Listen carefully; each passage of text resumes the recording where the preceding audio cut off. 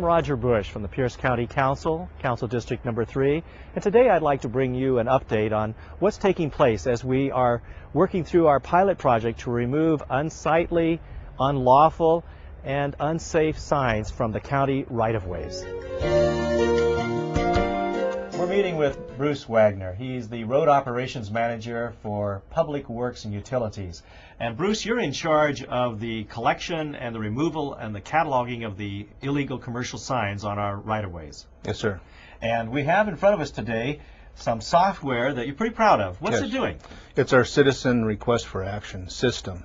And all of the requests that we get from our citizens, from any constituent that we have that uses Pierce County's roads, goes into the system. It allows us to enter the person calling, the site address, the nature of the concern, the action we take, our subsequent investigations, um, pictures, plan sets that develop from that, and then closeout of the information once we complete the work. And then we can query that information in the future to see patterns, where the potholes occur, where the most signs are being placed in this case, so we can plan better for the future to meet the need. Oh, that sounds uh, very efficient.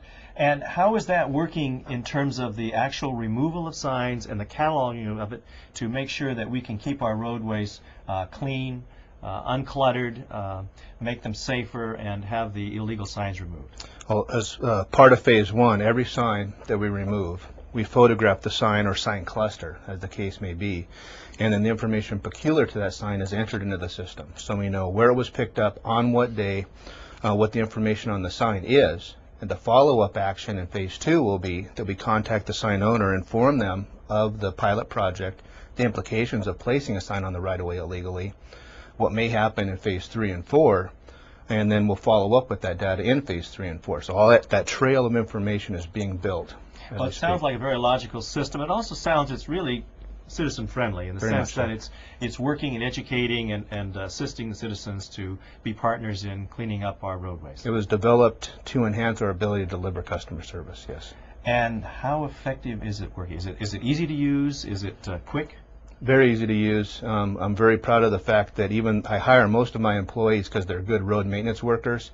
They're not necessarily hired because they're good on computers, but uh, to the person, our, our individual uh, employees can log on and use this system pretty much with very little training. It's very user friendly. So you can actually look right at the signs that you saw on the roadside Yes. and all the information about it. Um, yes, sir.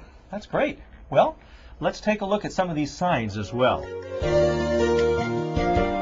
Well, Bruce, we're here now in front of a number of signs. What is the actual process for taking down? Once you've identified a location, you see some signs that are illegally placed, commercial signs, how do you get rid of them? Well, I have crew members, uh, maintenance technicians that are assigned to this pilot, and they're going through the region that's specified in the pilot. And they go out in a pickup truck and basically police an area. And as they encounter a sign, they determine the road right away. And because it's not practicable to perform a survey um, on every road out there as part of this pilot, they use the rule of thumb. Most county right of ways average about 60 feet wide. However, it's really better determined by features like um, utility poles, uh, the obvious end of maintenance, a fence, a back slope of a ditch. So we're using that rule of thumb to make that determination. And once a sign is determined to be in the road right away, the folks take a picture of it, catalog on a piece of paper where they picked it up, put it in the truck, and bring it into this location. Okay, so it's pretty much a, a easy rule of thumb to think about. If it's if it's between the utility poles across the road to the other utility pole, rule of thumb, it's in the right of way. It works most of the time. And, and those signs are to be removed, and that's what we do. We take them out, and we log them and catalog them. yes, sir. All right, great. And what is the um, what happens to them?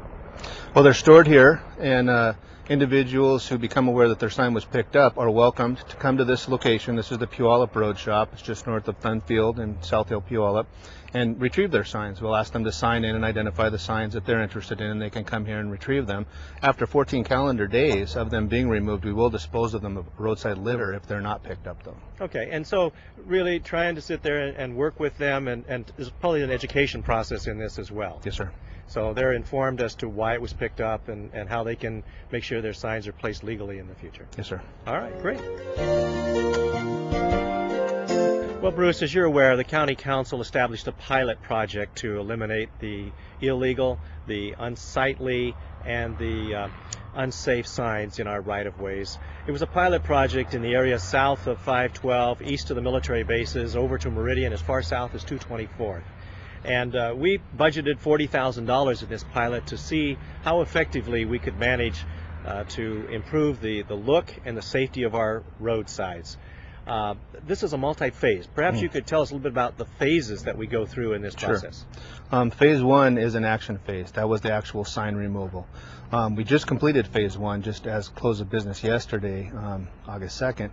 The uh, the budget for the phase was 12,500. Um, as of yesterday, we've spent 12,200. So we, we did well. Um, we hit time and budget. Um, we re- retrieved um, almost 1,600 signs, um, individual signs. So quite a number within that pilot area, and we did get the entire sweep done.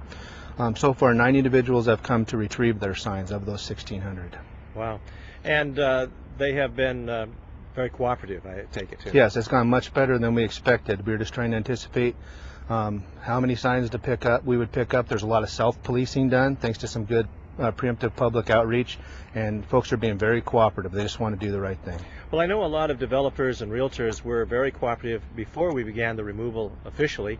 They actually policed and removed a lot of them themselves already. Yes. Yeah. All right, and that has also improved the looks of our community already. We Yes, want sir. to be proud of our neighborhood, and this helps a lot. Uh, there are safety features for your workmen as well in removing these. What's what are some of the hazards involved? Well, obviously, we work next to traffic. Working next to tra- traffic is a very dangerous thing. So we have to make sure we're wearing vests, high visibility clothing. We're putting out signs. We have lights to let people know we're out there. And my folks are focusing on the sign removal, not the oncoming traffic. So there's always that inherent danger when you're working near traffic. Um, often the signs that we pick up include arrows. They want to direct the person to their service. And arrows are also used in traffic control, so we want to make sure we're not confusing motorists Right. out there. So that's another aspect that's an improvement by this pilot. Well, I know the traffic clutter of the signs makes our traffic signs, stop signs, yield signs, school signs, yield signs, hard to see. And so that's a part of the safety feature. But also utility workers are having problems getting up and down these poles as well. The staples, the nails, the different ways they're attached become safety hazards for them as well. Yeah, it makes a difficult job even more difficult and dangerous when there's lots of nails and things sticking out of those poles. Yes. And the fact that they're illegal in the state by state statutes and also in county ordinances also uh, is an incentive to make sure that we beautify our community by removing these. Yes, sir. All right, great.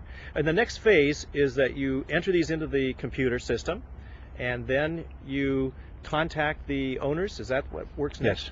Uh, the nice thing about signs is they contain contact information by virtue of their, their intent.